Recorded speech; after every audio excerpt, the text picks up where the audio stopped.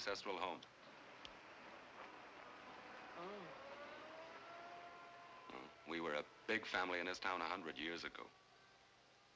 Well, be brave, monkey. The worst they can do is say no.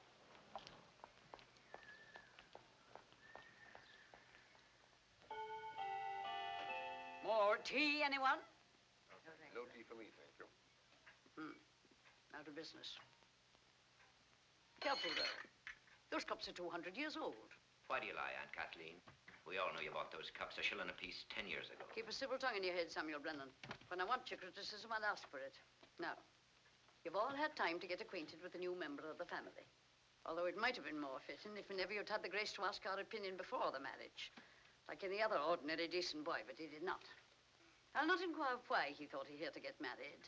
He'd secrecy in a foreign country and in such a hurry, but I suppose he had his reasons.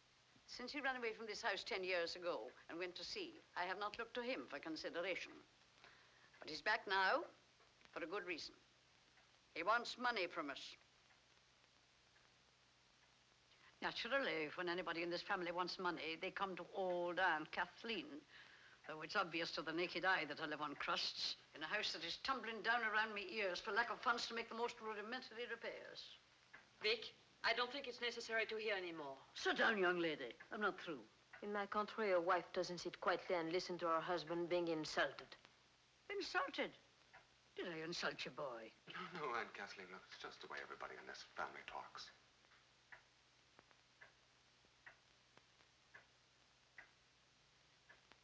All right. I sit. Provisionally. Hmm, that's better. I don't deny that I still have a soft spot in my heart for your husband. He was a handsome boy with a loving character. And I have not forgotten the tenderness in my heart for him when I took him in after his parents died. I want to give him all the chances I can. And that is why I have called you all here this evening to listen to him. Victor, go ahead. And I want no interruptions. Speak up, boy. Well, uh, um, Marie and me, we plan to go to Africa. For what? Big game hunting? No, we want to live there, to work, go into business. Exploit the natives, you mean? Till they wake up one morning and cut your throats. Oh, come on now, Vic. Be practical. Come out of the 18th century. Why Africa, Vic? What made you pick on that? Well, I have a friend in Jabanda in Central Africa. It's a man called Sampson. I sailed with him about five years ago. Now, he bought a truck and went into the hauling business down there, and he's done enormously well. He says that there's plenty of room for both of us. He says that with a little capital, a man can make a killing. Look, he sent me his figures for the last five years. It's, it's a gold mine. Well, if it's such a gold mine, why doesn't he keep it to himself? I told you we were friends. And I helped him once when he was in a, in a jam. Well, one thing I've learned in my years at the bank when you mix business and sentiment, the result is disastrous nine times out of ten. You poor man, you must have led a sad life. Why do you say that? Because in my life, I've learned just the opposite. Well, uh, why don't you have a look at these? Now, Vic, tell me. How much do you think you'll need? Four thousand pounds. Look, Sampson says with luck we can make it back in the first year. With luck. Well, it's not as though we were starting from scratch. I've saved some money, and Maria's worked hard and has got some of her own. Where did you meet her? In Corsica. And what were you doing in Corsica? I was born there. You never learned to speak English like that in Corsica. No. I worked in London, Where in London? in a pub. If you're so anxious to work, boy, why don't you live here like a sensible man and work right here in the city where you were born and bred? I wouldn't stay here if you gave me the place. I knew what I was doing when I left there when I was 15. If I'd stayed on here like the rest of you, I'd wind up like the rest of you. I'd, I'd wind up, well, like the rest of you. Hmm. Well, I must say you have a most original way of asking for money. And how about you? Do you agree with his crazy plan? I do. I'll follow Vic to Africa or anywhere else he wants to go. It's easy to see you've only been married one month. It's easy to see you've never been married at all. What exactly do you mean by that? If you only let a man put his hands on you once in your life, maybe you'd understand what I'm talking about. I don't know about the rest of you, but I, for one, am not going to sit here and allow myself to be insulted by a little French. I'll not permit myself to use the word. I demand an immediate apology. She's not going An to apologize apology? to anybody for anything. Come on, Marie.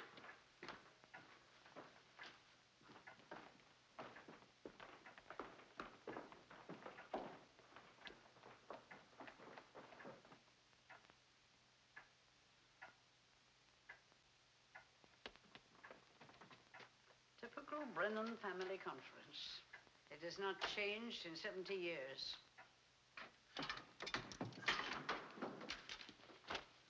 Well, I did it. I put my big foot right in the middle of it. Ah, the hell with them. I shouldn't have brought you here. They're just as bad as they always were, only ten years worse. What are we going to do now? I don't know. I suppose I could sign on for another voyage. oh, Maybe in no, a couple of years never. I could try No again. matter what happens, we're not going to live like that. With you at sea for months at a time. No. I'll find a job. We'll go away from here. Any kind of a job. nonsense. You're not going anywhere. I'm not going to take any more guff from those petrified mummies downstairs. You don't even have to talk to them. From now on, you talk only to me. I came up here to tell you that I like her. Picked a queer way of showing us. If you want to know what people are like beneath the surface, you have to scratch them a bit to find out. Ah, you're a pretty skinny little thing, aren't you? I haven't broken in half yet. No, I bet you haven't. I bet there's plenty of steel there. Well, Victor could have done a lot worse. He might have married someone like his cousin Cynthia. that dried up old... Cynthia would say, I'll not permit myself to use the word. Ah, maybe it's about time a Brennan married a French woman. For certain, they've not improved the stock marrying close to home in the last hundred years. Come and give the old lady a kiss, girl, to show there's no hard feelings.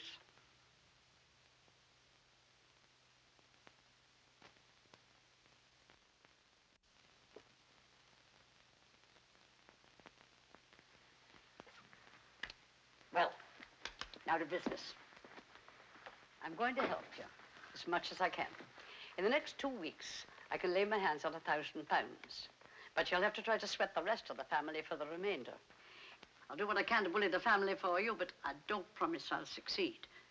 Well, dinner's 7.30 every night but Sunday. You might as well get the routine straight now that you're staying on.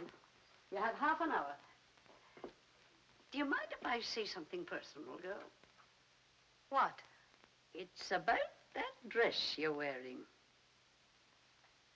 Oh? It's charming. It's utterly charming, especially the color. It's the most welcome bit of color that we've had in this house in 50 years. Oh, Vic, she's wonderful. We'll get the money, I know it. I'm not so sure. We're still a long way from home. Oh, now, come on. Don't look so worried. Does that help? Only partly. Try harder. Better. Much better. One question more. Have you got your marriage certificate? Yes. Yes, it, uh, it's, it's in the suitcase. You want to see it? No. I just want to make sure it's on the premises.